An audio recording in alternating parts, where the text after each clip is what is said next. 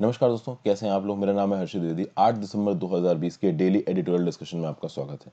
देखते हैं आज कौन कौन से इंपॉर्टेंट एडिटोरियल डिस्कस करेंगे। पहला आपके सामने है a DUET for India's urban women public works could provide valuable support to urban poor especially if women get most of the jobs देखिए, मनरेगा के बारे में आप सबने सुना होगा। गाँव में लोगों को जॉब प्रोवाइड करना साल में कुछ दिनों की। एक ऐसी ही जॉब स्कीम को अर्बन स्फीयर में चालू करने की बात की जा रही है। इस आर्टिकल को अगर आप बात करो दोस्तों तो जीन ड्रीस साहब ने लिखा है। ये विजिटिंग प्रोफेसर हैं department of economics Ranchi university के।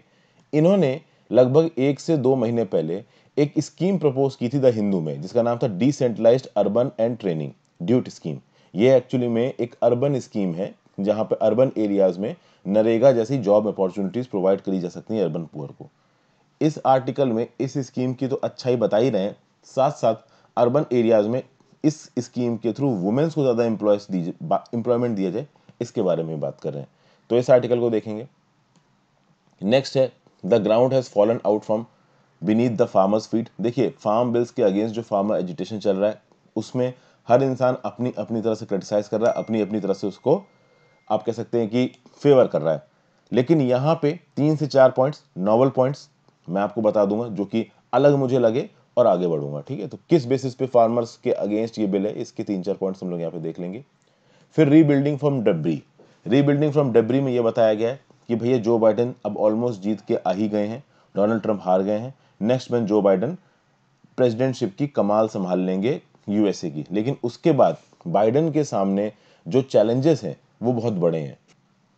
तो ट्रंप ने जो आइसोलेशनिस्ट एरा शुरू किया कि डब्ल्यू को छोड़ दिया, फिर बोला मैक्सिको के साथ दीवार बनाएँगे इस तरीके की जो चीज़ें हैं, भले ही इसको बाइडन ख़त्म कर दें बट कहीं ना कहीं अमेरिकन सोसाइटी अंदर से पोलराइज हो रखी है और ऐसा लग रहा है कि अमेरिकन सोसाइटी अपने आप से ही लड़ रही है। तो इस चीज़ को अरेस्ट करने के लिए यहाँ पे क्या किया जा सकता है और बाइडन कैसे काम करेंगे, ये मतलब बता रहे हैं कि बाइडन के सामने चैलेंजेस बहुत ज़्यादा कुछ बहुत नॉवल और एक्स्ट्रा पॉइंट मुझे यहाँ पे लगे नहीं, इसलिए मैंने इस आर्टिकल को डिस्कस किया नहीं।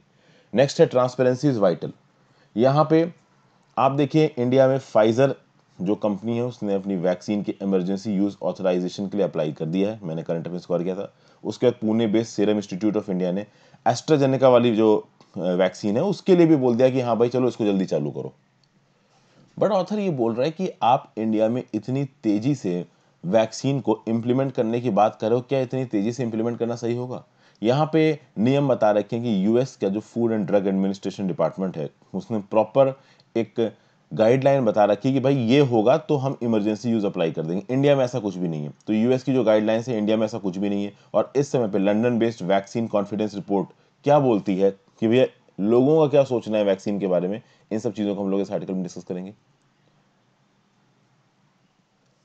फिर नेक्स्ट आर्टिकल है तमिलनाडु की पॉलिटिक्स से यहाँ पे रजनीकांत जी की एंट्री होती नज़र आ रही है।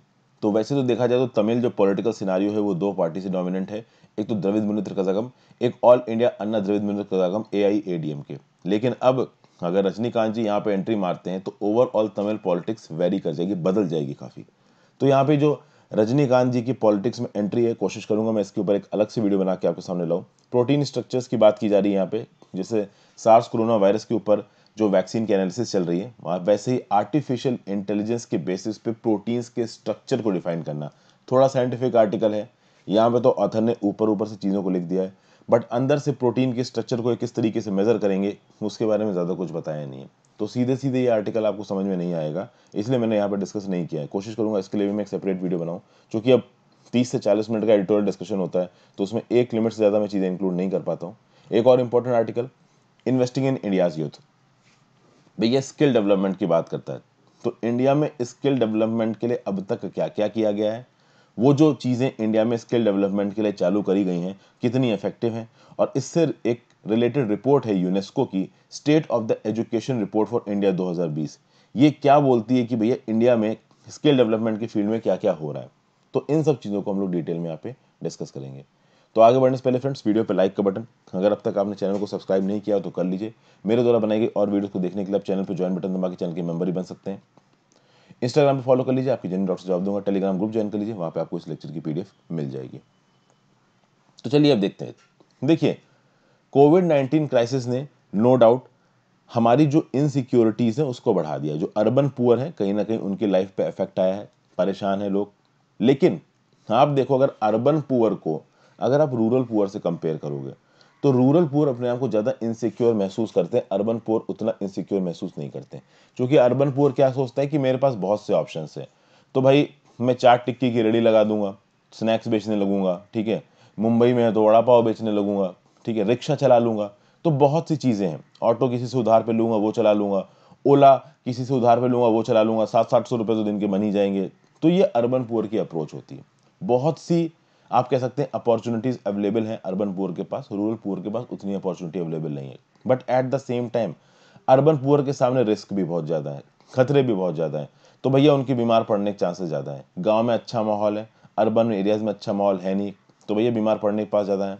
फिर अंडर एम्प्लॉयमेंट है इनका मतलब बहुत से मतलब होते हैं अंडर एम्प्लॉयमेंट के। अंडर एम्प्लॉयमेंट का मतलब ये हो गया कि आप फुल टाइम काम नहीं कर रहे हो, दिहाड़ी पे थोड़ा काम मिल गया तो कर लिया, नहीं मिला तो नहीं किया। तो अगर आप प्लम्बर हो तो किसी ने बुला लिया काम करने के लिए नल वल का तो आपने कर लिया। तो अर्बन क्लैप में अपने आपको रजिस्टर कर दिया आपने एज अ प्लम्बर अभी अर्बन क्लैप से बुकिंग आ रही है तो ठीक है, नहीं आ रही तो आप घर बैठे हो।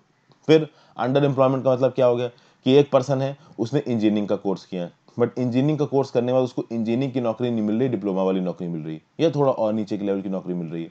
तो ये होता है अंडर एम्प्लॉयमेंट फिर भाई, कुछ और नुकसान है अर्बन पुअर को, कुछ कलेक्टिव नुकसान है। जैसे कि अब लॉकडाउन लग गया, सब कुछ बंद पड़ गया। फ्लड्स आ गए साइक्लोन्स आ गए फाइनेंशियल क्राइसिस आ गई।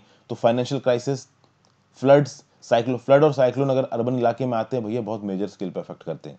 रूरल इलाके में इतना इफ़ेक्ट नहीं करेंगे जितना अर्बन इलाके में करेंगे ऑब्वियसली बात है। अर्बन इलाके में पॉपुलेशन डेंसिटी ज़्यादा है तो इनका इफ़ेक्ट ज़्यादा होता है। फाइनेंशियल क्राइसिस अर्बन इलाकों में आएगी। लॉकडाउन का सबसे मेन इंपैक्ट पड़ेगा अर्बन इलाकों में। तो ये जो अर्बन पुअर है, अगर ये अर्बन एरियाज़ में काम कर रहे हैं और कुछ इमरजेंसी टाइप की सिचुएशन आ गई तो परेशान भी सबसे ज़्यादा यही होते हैं। इसीलिए अर्बन इलाकों में अच्छे सोशल प्रोटेक्शन की ज़रूरत है। लेकिन इस अच्छे सोशल प्रोटेक्शन के लिए ज़्यादा ऑप्शन है नहीं। तो आप ये कह सकते हो कि अगर पब्लिक डिस्ट्रीब्यूशन सिस्टम को यूनिवर्सलाइज कर दिया जाए अर्बन स्लम्स में तो अच्छी बात है। देखिए नेशनल फ़ूड सिक्योरिटी एक्ट के अंदर कम दाम पे राशन बांटा जाता है हमारे देश के गरीबों को। तो अगर अर्बन इलाकों में दूसरे शहरों से आए हुए लोगों को आप राशन बांटो, जो कि किया ही जा रहा है यूनिवर्सल पीडीएस में तो अच्छी बात है। तो भैया, कम से कम इनको खाना तो मिल जाएगा, लेकिन सिर्फ़ खाना दे देना सब कुछ नहीं है दोस्तों। Employment based support is the most important मतलब आप इनको नौकरियाँ दो, जब इनको नौकरी मिलेंगी, जब ये डेली बेसिस पे काम करेंगे तो ये थोड़ा सा दिमाग से स्टेबल रहेंगे। और नौकरी देने के दो तरीके हैं। एक तो सेल्फ टारगेटिंग सेल्फ टारगेटिंग मतलब क्या होता है कि आप नौकरियाँ जनरेट करिए, जैसे मनरेगा होता है ना गाँव में, वैसे ही आप अर्बन एरियाज़ में नौकरियाँ जनरेट करिए। जिन जिनको नौकरियों की ज़रूरत है, वो खुद आके नौकरी के लिए अप्लाई करेंगे। ये होती है सेल्फ टारगेटिंग दूसरा, ये जो काम कर रहे हैं, इसके थ्रू आप वैल्यूएबल एसेट्स और सर्विसेज़ को प्रोड्यूस करो। मतलब ऐसा नहीं है कि काम किया और फिर काम का कोई यूज़ ही नहीं हुआ। मनरेगा में कभी कभी ये सुनने को आता है कि भैया काम किया, लेकिन काम के चलते जो स्ट्रक्चर बनाया गया, उस स्ट्रक्चर का कोई ग्राउंड पे यूजेज ही नहीं है। अब यहाँ पे ऑथर साहब जीन साहब क्या बोल रहे हैं? कि उन्होंने कुछ दिन पहले, ये बात सही है, मैंने भी वो आर्टिकल आपके साथ डिस्कस किया था, कि इसी द हिंदू में एक आर्टिकल छापा था, जहाँ पे एक अर्बन एम्प्लॉयमेंट स्कीम प्रपोज की थी ड्रीन साहब ने, जिसका नाम है DUET scheme decentralised urban employment and training scheme काफ़ी अच्छी स्कीम है ये। Decentralised urban employment and training scheme क्या करेगा? इसमें होगा ये कि चाहे स्टेट गवर्नमेंट चाहे यूनियन गवर्नमेंट हो, या कुछ हद तक जो आपकी म्यूनिसपैलिटीज़ है म्यूनिसिपल कॉर्पोरेशन है बड़े बड़े शहरों में, ये जॉब स्टैंप इशू करेंगे। एक एक दिन के जॉब स्टैंप इशू करेंगे, जिसमें एक मिनिमम अमाउंट ऑफ़ पैसा तो इन लोगों को मिलेगा ही।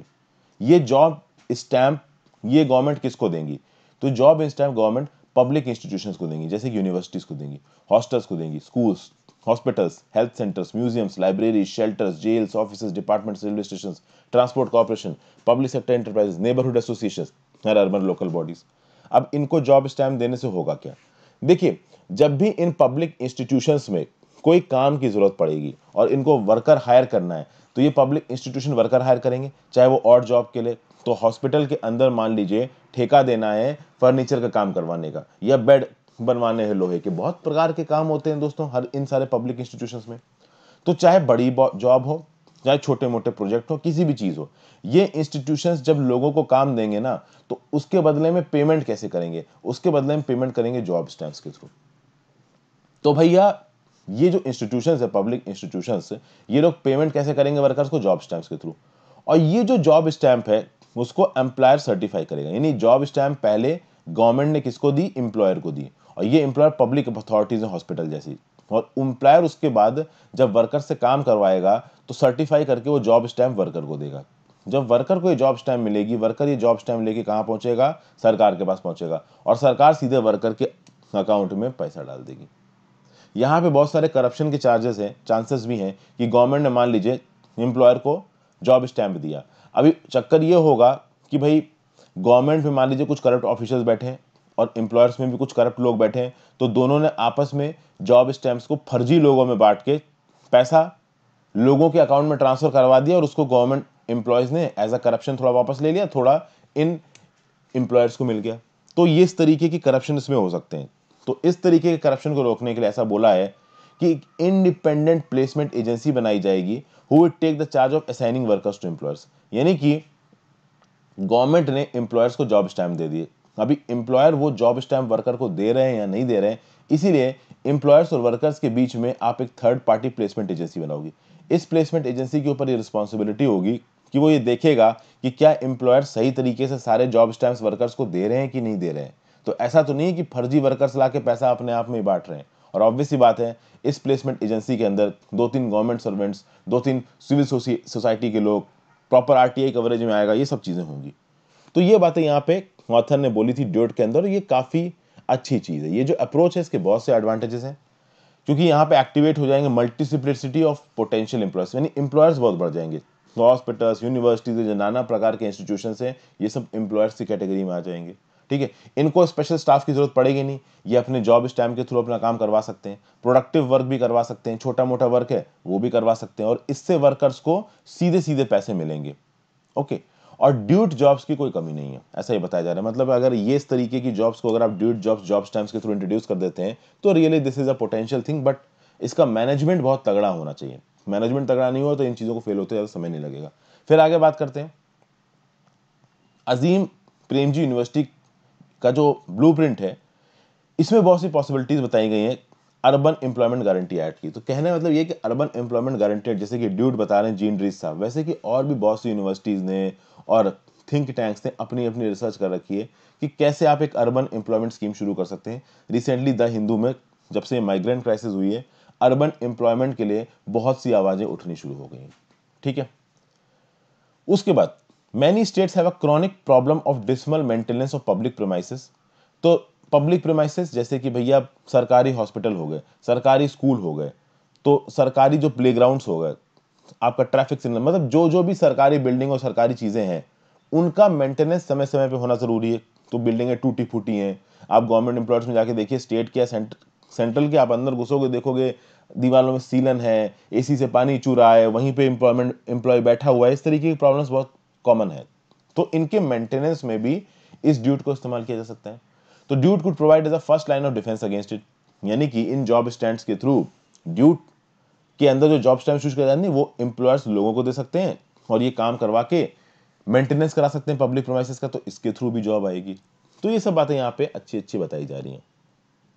लेकिन अब बात दोस्तों यहाँ पे ये भी है कि ऐसा होना बहुत मुश्किल है। होना बहुत मुश्किल क्यों है? क्योंकि रीज़न ये है कि इन सब चीज़ों में बहुत करप्शन होता है। ठीक है? काम का ठेका देना कॉन्ट्रैक्ट का ठेका देना, वो भी सरकारी डिपार्टमेंट्स में काफ़ी करप्शन होता है। तो आपको करप्शन खत्म करना पड़ेगा अगर इस चीज़ को आपको कहीं ना कहीं इंप्लीमेंट करना है तो। और कहीं ना कहीं ड्यूट के अंदर होगा ये कि जो लेस स्किल्ड वर्कर है, वो मोर स्किल्ड वर्कर के साथ काम करेगा तो उसकी स्किल्स को जल्दी सीख जाएगा। अब प्रॉब्लम यहाँ पे ये है कि जो मोर स्किल्ड वर्कर्स हैं, जो तगड़े लेवल के आपके कारपेंटर प्लम्बर वगैरह हैं, उनके पास ऑलरेडी बहुत काम है, वो इस स्कीम में जल्दी आएँगे नहीं तो उनको फाइनेंशियल इंसेंटिव देने पड़ेंगे इस स्कीम में आने के लिए मतलब डुइट स्कीम में आने के लिए अगर ये इंप्लीमेंट होती है। एक बार ध्यान रखिएगा, ये जो डुइट स्कीम है ना, ये जीन ड्रीस के दिमाग में है, अभी सरकार का इससे कोई लेना देना नहीं है। डुइट स्कीम इस तरीके से प्रपोज कर रहे हैं जीन ड्रीस साहब कि ऐसा कुछ किया जा सकता है, इससे चीज़ें अच्छी हो जाएँगी। चलिए ठीक है। फिर भाई डुइट के अंदर एक और चीज़ है कि भैया वुमेन वर्कर्स को यहाँ पे प्रायोरिटी देनी बहुत ज़रूरी है। अगर आप वुमेन वर्कर्स को प्रायोरिटी देते हो, किस तरीके की प्रायोरिटी जीन साहब ये नहीं बोल रहे हैं कि आप वुमेन को कोटा दे दो। जैसे कि मनरेगा के अंदर क्या होता है, ये टारगेट किया जाता है कि कम से कम वन थर्ड जो काम है thirty three percent of the काम वो वुमेन को दिया जाए।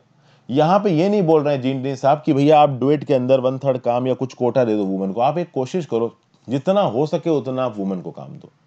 जो प्लेसमेंट एजेंसी काम को बांट रही हैं, उनको ये इंश्योर करना चाहिए कि वुमेन्स को काम मिल रहा है। और जब आप वुमेन्स को काम दे रहे हो तो वुमेन्स को आप काम तरीके से दो। देखिए वुमेन दिन भर तो आके काम नहीं कर सकती। उनको अपने बच्चे भी देखने हैं, अपने घर वाले भी देखने घर में भी खाना बनाना है। तो बेटर ये रहेगा कि तीन से चार या पाँच घंटे के लिए वुमेन को काम दिया। तो घर का सारा काम निपटा के वो वुमेन आई, उसने काम किया फिर वापस चली गई। तो आप वुमेन को सिर्फ़ फुल टाइम एम्प्लॉयमेंट के परस्पेक्टिव से डोएट में काम मत दीजिए। पार्ट टाइम एम्प्लॉयमेंट का बेसिस होना चाहिए, जहाँ पे घंटे के आधार से उसको सैलरी दी जा सके। इससे वुमेन को इकोनॉमिक इंडिपेंडेंस भी मिलेगी बार्गेनिंग पावर मिलेगी और उसकी फैमिली को एक एक्स्ट्रा सोर्स ऑफ़ इनकम मिलेगी। क्योंकि वुमेन आके कमा रही है तो अपने घर में ही तो लेके जाएगी वो। पहली बात तो ये बताएगी। उसके बाद दोस्तों देखिए सेल्फ टारगेटिंग फीचर्स होना चाहिए। फिर ये जो डोएट वाली स्कीम है, इसमें जो सेल्फ टारगेटिंग वाला एलिमेंट है, ये बहुत अच्छा है। क्यों? क्योंकि वुमेन्स जो कि बेटर हाउस होल्ड हैं, जो कि वेल ऑफ़ हाउस होल्ड हैं, अच्छे घर से हैं। अच्छे घर से मतलब जहाँ पे पैसे अच्छे कमाते हैं लोग। तो अच्छे पैसे कमाने वाले लोग ऑब्वियसली बात है मिनिमम वेजेस पे नहीं पसंद करेंगे कि भैया उनके घर से लेडीज़ जाएँ काम करने के लिए, वो चाहेंगे कि किसी अच्छी नौकरी में जाएँ, ठीक है?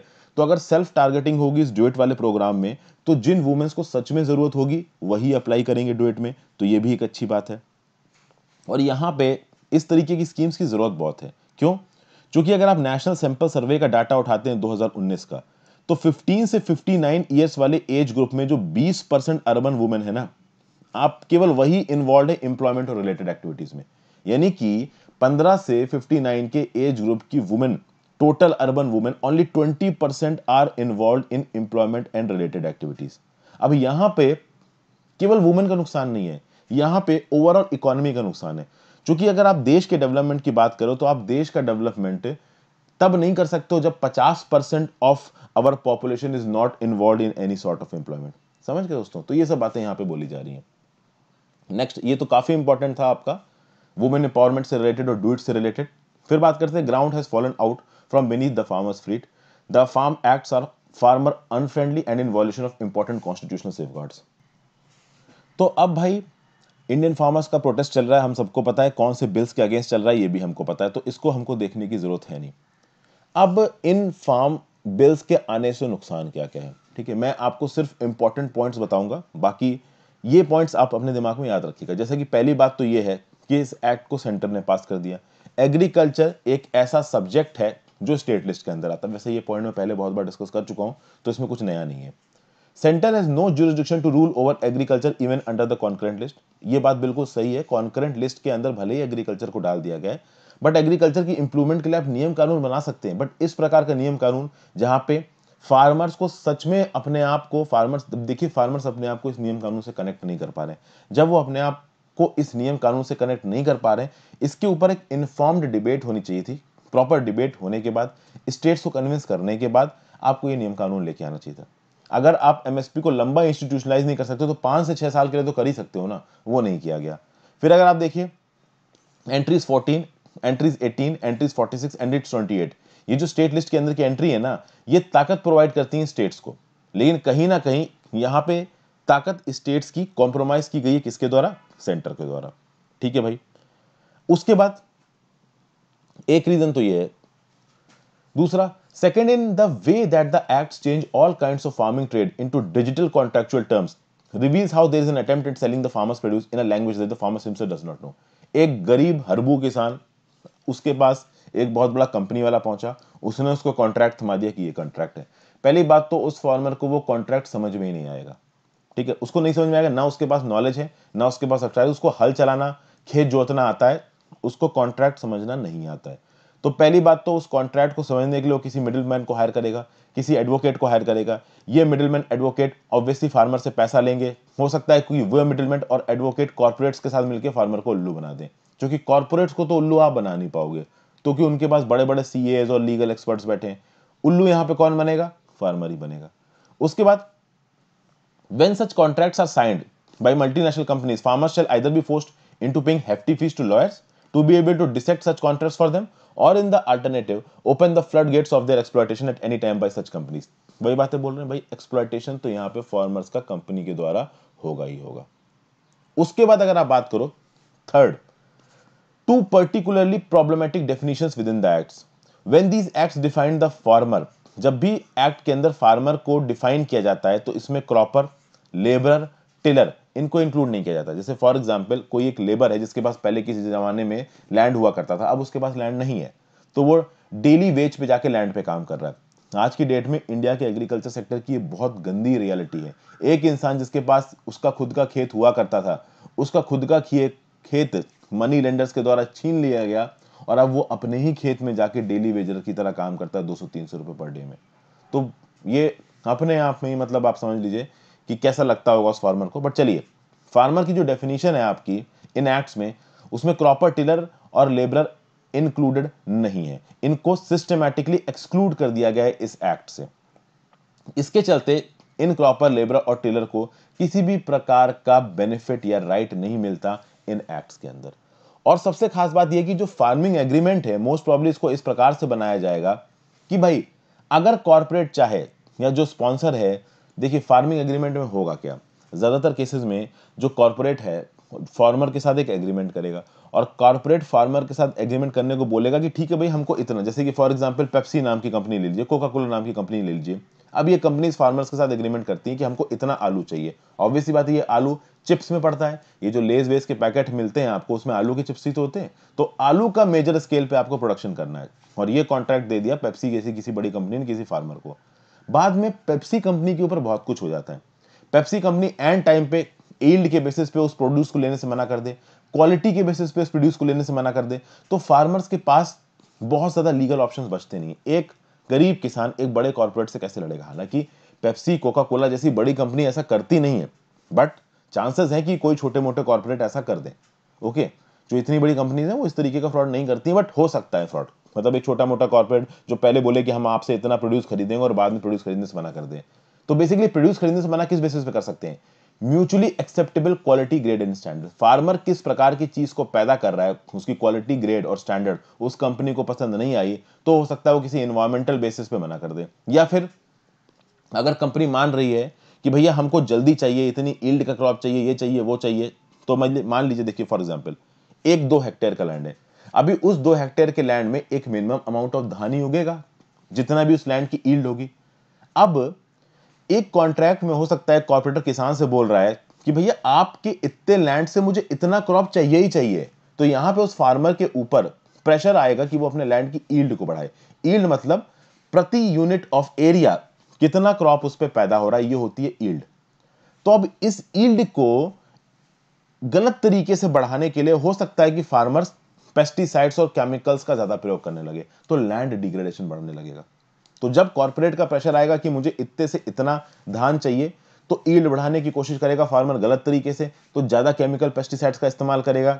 उससे जो क्रॉप पैदा होगी, वो उसकी क्वालिटी भी बहुत तगड़ी नहीं होगी और उसकी जो ज़मीन है, वो भी जल्दी गंदी हो जाएगी बैरन हो जाएगी।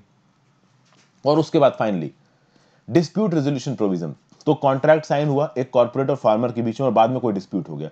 तो इस डिस्प्यूट के लिए आप जाओगे कहाँ? तो अभी के लिए समझ में आ रहा है सब डिविजनल मजिस्ट्रेट अभी सब डिविजनल मजिस्ट्रेट तो ऑलरेडी ओवरवर्कड है। दिन में अगर आप कभी सब डिविजनल मजिस्ट्रेट बन जाते हो, भगवान करे आप बनी जाओ। वैसे तो मैं चाहूँगा कि आप सब लोग आई एस बने आई बने। बट चलिए मान लीजिए, कुछ लोग आई नहीं क्वालिफाई कर पाते हैं एसडीएम बन जाते हैं तो एसडीएम भी बहुत अच्छी पोस्ट है। यूपी में या फिर राजस्थान में, बाकी स्टेट्स में स्टेट लेवल के एडमिनिस्ट्रेशन में सबसे ऊपर की पोस्ट है। एसडीएम के पास काफ़ी काम होते हैं। तो ये काम भी एसडीएम को दिया गया है। कि फार्मर्स और कॉर्पोरेट्स के बीच कॉन्ट्रैक्ट फेल हो जाते हैं तो एसडीएम देखेगा। हालाँकि बाद में हो सकता है कि कोई नई लीगल बॉडी बना दी जाए, पर अभी के लिए कोई लीगल बॉडी नहीं नज़र आ रही है। तो इन बेसिस पे यहाँ पे ऑथर क्रिटिसाइज कर रहा है किसको? इस बात को कि ये भाई जो आपके एक्ट्स हैं, जो फार्म एक्ट्स हैं, जो कि फार्मर्स की अथॉरिटी को यहाँ पे खींचने की कोशिश कर रहे हैं उसको तो ये आर्टिकल लिखा है केटीएस तुलसी जी ने सीनियर एडवोकेट है ये, और मेंबर ऑफ़ पार्लियामेंट भी है। ठीक है दोस्तों तो ये है। और तनेसा पुरी जी ने भी इनपुट दिए हैं, ये चैम्बर्स ऑफ़ केटीएस तुलसी में एसोसिएट है। कुल मिला के अब आप ये समझ लीजिए कि फार्म बिल्स में इस समय पे हमारे पॉलिटिकल सेक्टर में दो सेक्शंस बने हुए हैं। एक जो रूलिंग पार्टी के फेवर में है, वो इस फार्म बिल्स को सपोर्ट कर रहे हैं। एक जो रूलिंग पार्टी के अगेंस्ट में है, वो इस फार्म बिल्स को अपोज कर रहे हैं। क्या सही, क्या गलत, ये आप खुद अपने दिमाग से सोचिए। Transparency is vital safety and efficiency data must be known before emergency use authorisation for vaccine क्या बोला जा रहा है यहाँ पे? अभी आपने सुना ही होगा फाइजर ने अपनी वैक्सीन के इमरजेंसी यूज़ के लिए अप्लाई किया। एस्ट्राजेनेका ने अपनी वैक्सीन की इमरजेंसी यूज़ के लिए अप्लाई किया। एस्ट्राजेनेका के ट्रायल केवल इंडिया में नहीं चल रहे यूके और ब्राज़ील में भी चल रहे हैं। एस्ट्राजेनेका ने जो फ़ेज़ थ्री ट्रायल्स हुए थे यूके और ब्राज़ील के, उसके 131 कोविड 19 केसेस के लिए एफिशिएंसी डाटा दिया है। लेकिन इंडिया में जो ट्रायल्स किए हैं ना एस्ट्राजेनेका ने, उसके अभी तक कोई भी डाटा नहीं दिया गया अब आप सोचिए दोस्तों फाइजर ने अपने प्रॉपर डाटास को पब्लिश किया और फिर यूएसए की फ़ूड और ड्रग एडमिनिस्ट्रेशन डिपार्टमेंट को अप्लाई करेगी यूके में अप्लाई किया अप्रूवल लिया। फाइजर अपने डाटा को पब्लिश करने के बाद अप्रूवल ले रही। एस्ट्राजेनेका के फ़ेज़ थ्री के डिटेल्ड ट्रायल रिजल्ट्स अभी पब्लिक डोमेन में नहीं आए हैं। और उसके बावजूद एस्ट्राजेनेका ने इमरजेंसी यूज़ अप्रूवल के लिए अलाउ कर दिया है। ऑलरेडी एस्ट्राजेनेका बहुत सारी वैक्सीन को मैन्युफैक्चर करके बैठी है। और ऑब्वियसली बात है, अगर एस्ट्राजेनेका वैक्सीन मैन्युफैक्चर करके बैठी होगी तो कहीं ना कहीं सरकार से बैक एंड से अप्रूवल तो लिया ही होगा। देखिए, यहाँ पे बड़े लेवल पे गेम होते हैं। एस्ट्राजेनेका जब वैक्सीन डेवलप कर रही होगी ना, शुरुआत में ही हो सकता है किसी बड़े लेवल पर इनकी डीलिंग हो गई हो कि हाँ भाई हम वैक्सीन बना लेंगे और बाद में बेचेंगे। ठीक है? तो यहाँ पे बस फिर एक फॉर्मेलिटी सी हो जाती है कि हाँ भाई अप्रूवल तो मिलना ही है, पहले बैक एंड से बात हो चुकी है। लेकिन बात यहाँ पे यह है कि जब लोगों को ये दवाई खानी है तो कहीं ना कहीं लोगों के दिमाग में क्लैरिटी होनी चाहिए कि ये जो दवाई है ना ये एफिशिएंट है। अब देखिए lack of transparency about vaccine safety and efficiency does no good in gaining people's confidence and willingness to get vaccinated Moderna Pfizer और एस्ट्राजेनेका ने पब्लिक पब्लिकली अपने ट्रायल प्रोटोकॉल को शेयर किया है। ओके okay, लेकिन फ़ेज़ थ्री ट्रायल्स के results को किस प्रकार से पब्लिश करना और इंडिया में फ़ेज़ थ्री ट्रायल्स के रिजल्ट्स की सेफ्टी और एफिशिएंसी के बेसिस पे उसको अप्रूवल किस प्रकार से दिया जाएगा, उसके लिए क्लियरली फिक्स्ड गाइडलाइंस नहीं है। यूएस का फ़ूड एंड एडमिनिस्ट्रेशन डिपार्टमेंट क्या बोलता है? कि there should be at least 50 percent efficiency and stipulated a medium follow up duration of at least two months after completion of the full vaccination regimen to assess a vaccine's benefit risk profile for emergency use approval यानी कि USA में अगर कोई vaccine को आप market में उतार रहे हो तो उसकी कम से कम 50 परसेंट एफिशिएंसी होनी चाहिए। और वैक्सीन देने के बाद आप दो महीने तक उस पेशेंट को मॉनिटर करोगे कि उसके अंदर भाई कोई निगेटिव सिम्टम तो नहीं आ रहे हैं। और ये सब चीज़ें अगर सही होती तो ही इमरजेंसी अप्रूवल मिलेगा। ये यूएसए के नियम कानून है। इंडिया में इस तरीके के नियम कानून के ऊपर कोई भी क्लैरिटी है नहीं। फ़ेज़ थ्री ट्रायल जो कोविशील्ड का था, वो सितंबर 21 को शुरू हुआ और 12 नवंबर को खत्म हुआ। कुल मिला के कहने की कोशिश की जा रही है 12 नवंबर को अगर यूएसए में ट्रायल्स खत्म होते तो 12 नवंबर से 12 दिसंबर और फिर 12 जनवरी। तो 12 जनवरी तक तो पेशेंट्स को मॉनिटर किया जाता है। और यहाँ पे ये जो कोविशील्ड है एक्स्ट्राजेनेका है, वो सीधे सीधे अप्रूवल के लिए अप्लाई कर रहा है। तो यूएसए के एफडीए वाले जो अप्रूवल नॉर्म्स हैं, उस तरीके के clear cut approval norms India में अभी एग्जिस्ट नहीं कर रहे अब यहाँ पे सीधी सीधी बात यह है कि लोगों के दिल में क्या बात है, इसके लिए एक सर्वे कराया गया, किसके द्वारा? London based vaccine confidence project द्वारा। यह बोलता है कि लोगों के अंदर ये इंटेंट है कि वो जल्दी वैक्सीनेट हो जाए। लोगों के अंदर अभी भी डर है कि भैया कोरोना उनको ना पकड़ ले। तो भैया इंटेंट तो है कि वैक्सीन आ जाए और हम अपने अंदर ही वैक्सीन ले ले और हम बच जाए भाई इस वायरस से।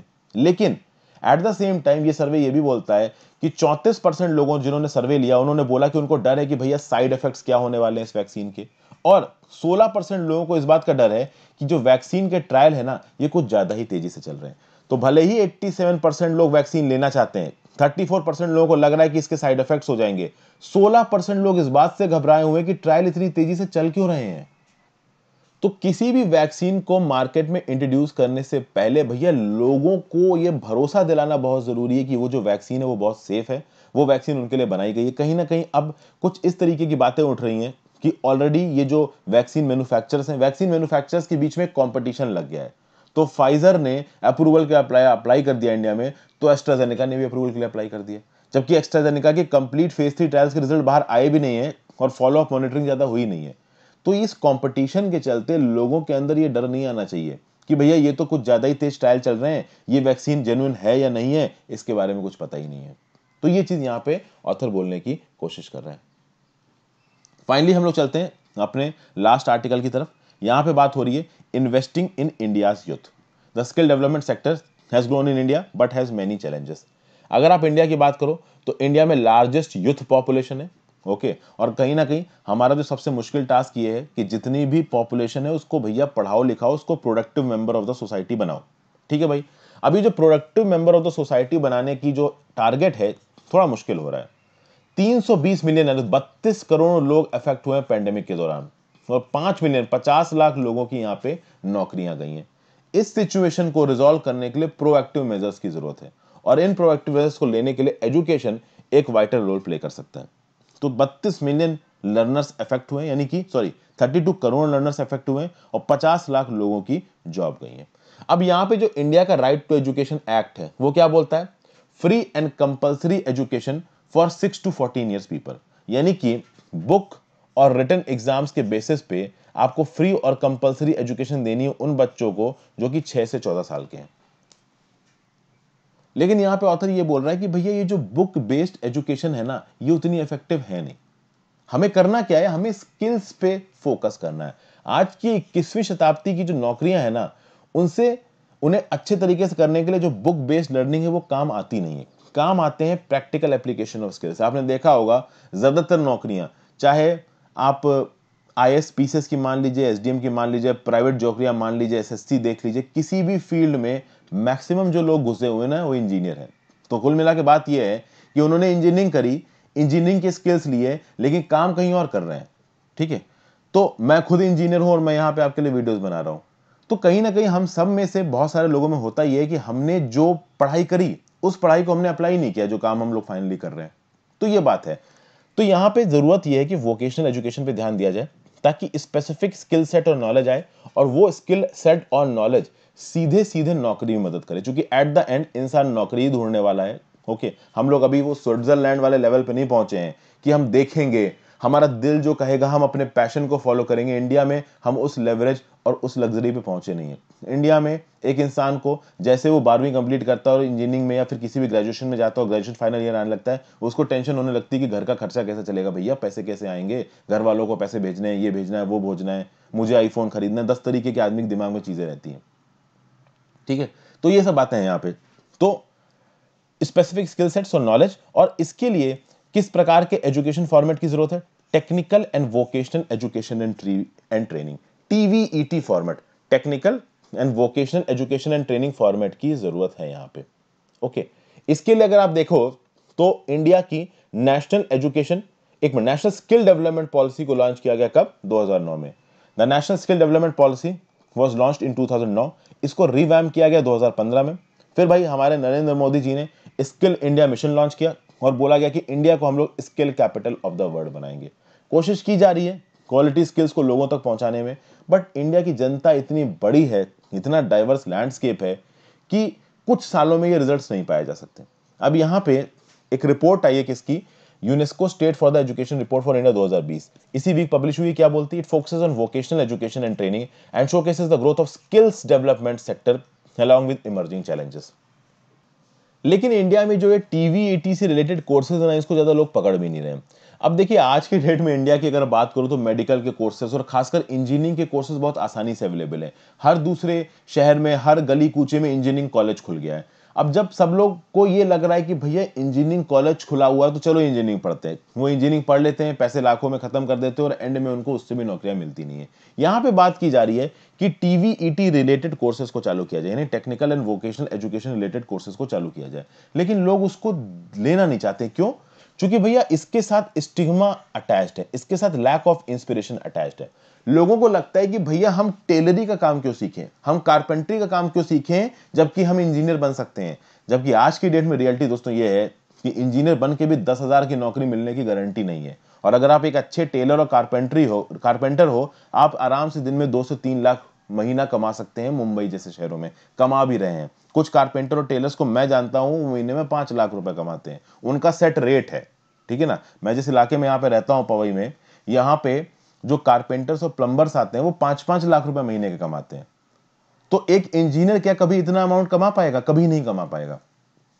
तो ये जो स्टिग्मा जुड़ा हुआ है इस तरीके के कोर्सेज से कि भैया हम टेलरी नहीं सीखेंगे, हम कारपेंटरी नहीं सीखेंगे, ये स्टिग्मा गलत है। इस स्टिग्मा को हटाने की ज़रूरत है।